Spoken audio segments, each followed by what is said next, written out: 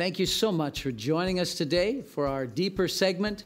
God wants us to be strong in our families. In fact, maybe you're all alone in the world. The Bible says in Psalm 68, verse 6, God sets the solitary together in families so they can be blessed. Those families are called the family of God, churches, local churches. So be part of that. And now, as we're looking into God's Word, if you've got your Bible, you can turn to uh, the book of Joshua in the Old Testament, the 24th chapter. And we're going to, I, I want to read verse 14 and 15, and we're going to focus on the end of verse number 15. Let me read it for you. It says, Now therefore, fear the Lord, serve him in security and in truth, and put away the gods which your fathers served on the other side of the river, that's the Euphrates River, and in Egypt. Serve the Lord. Verse 15. And if it seems evil to you to serve the Lord, choose for yourselves this day whom you will serve, whether you're the gods which your fathers served that were on the other side of the river, or the gods of the Amorites in the land where you dwell today. But look at the last sentence. But as for me and my house, that's Joshua speaking, we will serve the Lord. So the focus today, as for me and my house, we will serve the Lord. Why don't you say it with me? As for me and my house, we will serve the Lord. That's a strong declaration that God wants us to make so that we are, are boldly saying, This is what God wants. I'm adding my faith, joining my faith with God. This is what I want. And I am very bold in declaring, as for me and my house, we will serve the Lord. That's, that's your household now, but those that will follow after you in the generations that still are to come. Let me give you some background on this. Perhaps you remember Joshua was a great leader. He followed Moses, he was Moses' assistant. And then he became the captain of the army of Israel while Moses was still alive. And then he was the one that, when Moses died, led all of the children of Israel into the land of promise. He's the one that led the army that defeated all the enemies. He's the one that rallied the whole generation. Think of this the generation preceding him all died in the wilderness. And now he and his friend Caleb they inspired the next generation to serve the living God. They inspired not just their own families, but all of those who are their contemporaries to come along. He inspired young people who are much younger than him. And now, when he's speaking these words, catch this now, when he's saying these words, he's about 110 years of age, just before his death.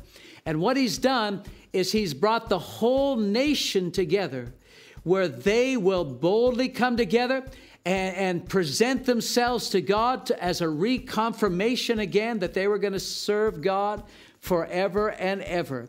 And he was a leader that brought that all about. I believe you can be a leader in your household to bring about transformation in your house and in the future generations that will follow you.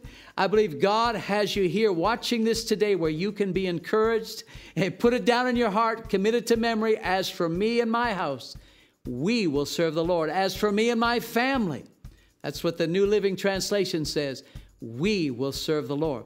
Now, it's very interesting the specifics of this event that Joshua is involved in he took them to a place called Shechem.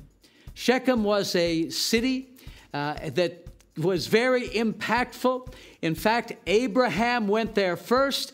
He built an altar. He brought the people around him that were with him, and he received the, the promise of God in that location. And then he brought the nation back, brought all his family back, confirmed it again. wow, it was very significant.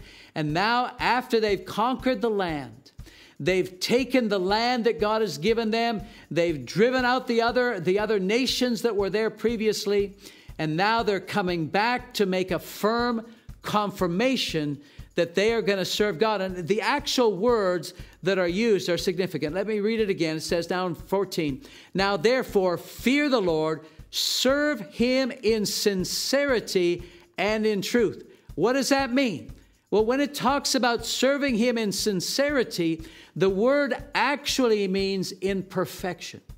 It means you're doing it with a great deal of, of detail involved. You know what you're doing. You're not just going to do it in a mediocre fashion, but you want to serve the Lord with sincerity. You want to serve Him with all that you've got in the very best way. That's what He wants for us in our households where we don't just take whatever happens, where we don't just take what others try to present us on a television, on the internet, or in society around us. We don't settle for the fact that almost 50% of, of marriages break up. We say, No, as for me and my household, we will serve the Lord not just for me and my spouse, not just for Jill and Randy Neilson, no, but for the generations that will follow after us as well.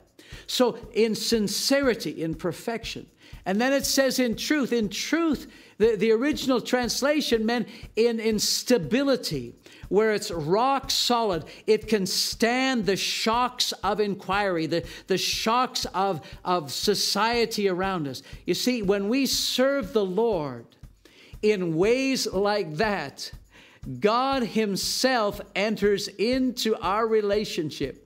In fact, the, the, the prophet put it this way that our marriage is like a three uh, stranded cord that includes a man and his wife and includes God Himself right there in the middle.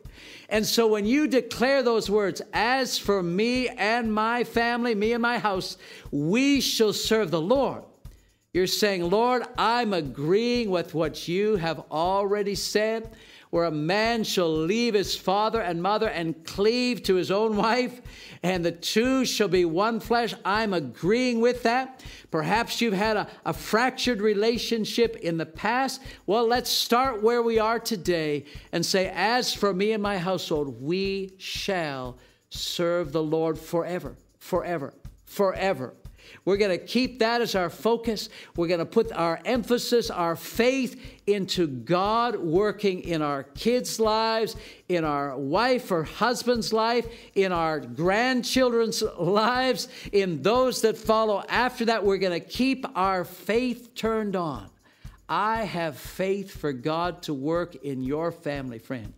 And so, as you're watching this, let faith rise in your heart. Dig down deeper Dig down deep into your own soul. Are you willing to irrevocably declare, As for me and my household, we shall serve the Lord? As you do that, God enters into the covenant that you've made together and brings about supernatural transformation that will allow you to enjoy your relationship now by faith as well as influence others around you. Let faith rise in their hearts as well. So remember this, my friends. Joshua chapter 24, verse 15, very end, last sentence. But as for me and my household, we shall serve the Lord.